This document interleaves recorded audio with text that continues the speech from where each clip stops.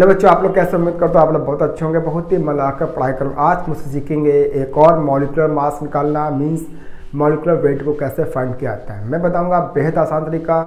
Magnesium nitrate का molecular mass निकालना है, या मोलर मास भी कहते हैं। सबसे पहले आप लिखेंगे एटॉमिक मास मैग्नीशियम का एटॉमिक मास होता है 24.30 होता है। नाइट्रोजन का 14 होता है देन ऑक्सीजन का होता है 15.99 होता है। यहाँ पर देखिए मैग्नीशियम वन है। तो मल्टीप्लाई कीजिए वन का 24.30 आएगा।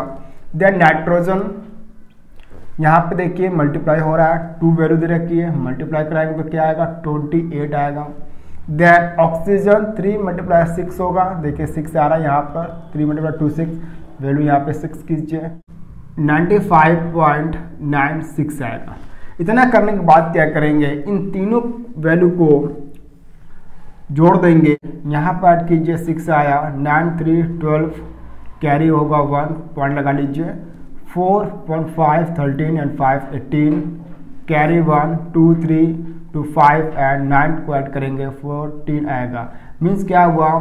एक सौ अड़तालीस में टू सिक्स इसका हो गया। मोलर मास हो गया।